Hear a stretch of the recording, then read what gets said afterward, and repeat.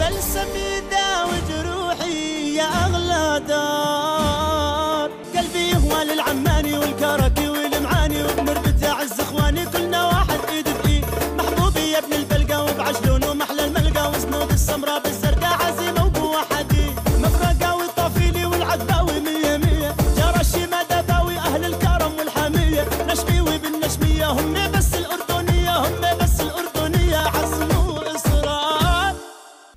أعزائي المشاهدين نلتقي في حلقة جديدة من برنامج هذه بلدنا.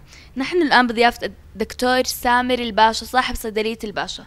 بداية أسعد الله أوقاتك دكتور. خذ الله وفاتك يا دكتور سامر بنحب نعرف السادة المشاهدين تعريف البطاقة الشخصية ومتى تأسس هذه الصيدلية.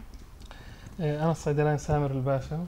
آه، تخرجت من جامعة علوم التكنولوجيا في عام 2005 آه، فتحت هاي الصيدلية في عام آه، 2009 آه،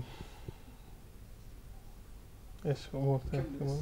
أوكي دكتور أنتم أشهر أشهر من أن تعرف في هذا القطاع. بنحب نعرف السادة المشاهدين ما هي الخدمات اللي بتقدمها بهاي الصيدلية؟ إحنا يعني الصيدلية بتقدم خدمات آه، لسكان المنطقة وال- والمجتمع هون آه، خدمات دوائية خدمات استشارات طبية. آه، بنحاول نثقف ال- السكان هون المنطقة عن طبيعة مرضهم كيف يأخذوا علاجهم كيف يتناولوا العلاج بأوقات مناسبة آه، شو ممكن يعملوا لو صار لا سمح الله صار في أي أعراض جانبية من هذا الدواء وشو الاستخدام السليم لهذا الدواء. كما زي ما يعني ب- ب- كل يعني حالة بحالتها كل حالة بحذا يعني. بالتوفيق يعني جميع مستلزمات المواطنين الموجودة عندك بالصيدلية لا لا إحنا طبعا بنحاول يعني كل شيء يكون متوفر. يعني حاجات أساسية من الدواء طبعا. يعني تكون إن شاء الله متوفرة. إن شاء الله يا رب. هلا دكتور سامر أي صيدلية ولا أي مشروع إلا ما يواجه صعوبات ومشاكل في العمل؟ أكيد أكيد. فإيش مش مشكلاتكم يعني إحنا أكثر المشكلات اللي بواجهها قطاع الصيادله آه، اللي هي هامش الربح القليل بصراحة. يعني آه، هامش الربح قليل جدا يعني ما بتجاوز ال 20% بينما تكاليف الصيدلية وال- آه، عالية جدا. يعني الإيجار ال- ال- الكلفه التشغيليه للصيدلية. طبعا عشان الصيدلاني طبعا الموظفين يأخذوا رواتب عالية يعني طبعا عشان يستطيعوا يعيشوا حياة كريمة. هذا كله بيكون كوست على الصيدلية. فأكيد في المقابل بدك ربح أعلى على أساس يقدر يغطي هاي التكاليف. طبعا هاي الفترة هاي ال 20% طبعا ما راح تقدر تغطي هاي ال- ال- التكلفة. أكيد. يعني يعني أقل راتب لصيدلاني عشان يقدر يعيش حياة محترمة أقل راتب نحكي بده يكون 400 ل 500 دينار. فإذا كان في الصيدلية أكثر من موظف يعني بتحكي عن تكلفة عالية جدا. وهذا عشان أنت يعني إحنا الصيدلية مش زي السوبر ماركت بنبيع كل يوم أي شيء يعني. بدك لما يحتاج هذا ال- ال- المريض هذا الدواء بده يشتريه طبعا هذا مش بشكل مستمر أكيد. فذاك إحنا بنطالب أنه يكون هذا الهامش الربح يزيد. الشغلة الثانية اللي هي قضية ضريبة الدواء. إحنا كنا نتمنى أنه يكون عندنا في الأردن الدواء بدون ضريبة زي باقي الدول اللي ما عندها الضرائب هاي لأنه تعرف يعني بيضلوا يعني حاجة ماسة. يعني ما حدا بيجي بيشتري الدواء كرفاهية. اللي بيشتروا الدواء أكيد بيكونوا محتاجين هذا الدواء بحاجه حاجة ماسة لأنه في مرض لا سمح الله وإحنا كنا يعني معرضين لهذا الشيء. أكيد. هلا دكتور سامر إحنا بننعم نعمة الأمن والأمان. ما توجه لله. رسالة؟ يعني إحنا نحمد الله عز وجل على نعمة الأمن والأمان اللي إحنا فيها. طبعا يعني الكل مستشعر هذا ال- الشيء في وطننا الغالي والعزيز. وهذا الشيء بيميزنا وبيميز ال ال ال يعني حتى بي- بيعزز البيئة الاقتصادية عندنا والناس كلها بتمدح في هذا الشيء وبالعكس يعني بتتوجه للأردن من من من هذا الباب. و ونسأل الله عز وجل أن يديم هذا الأمن يعني والأمان علينا دائما. إن شاء الله يا رب. هي دكتور سامر لو حالفك الحظ قبل جلالة الملك عبد الله شو بتحب تحكي له؟ يعني أول شيء أنا بشكره. يعني بشكره أنه يعني على سياساته اللي اللي هي آه، وفرت لنا هذا يعني بنرجع أنه وفرت لنا هاي البيئة الخصبة للأمن والأمان وال وال وال والعيشة الكريمة يعني. الحمد لله الله يطول بعمره يا رب. آمين. دكتور سامر بنحب نعرف السادة المشاهدين أين موقع الصيدلية وأرقام الهاتف؟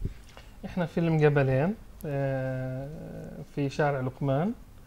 ورقم الهاتف 420 آه، 250 3 أعزائي المشاهدين وفي نهاية هذه اللقاء لا يسعني إلا أن أتقدم في جزيل الشكر للدكتور سامر الباشا على حسن الضيافة.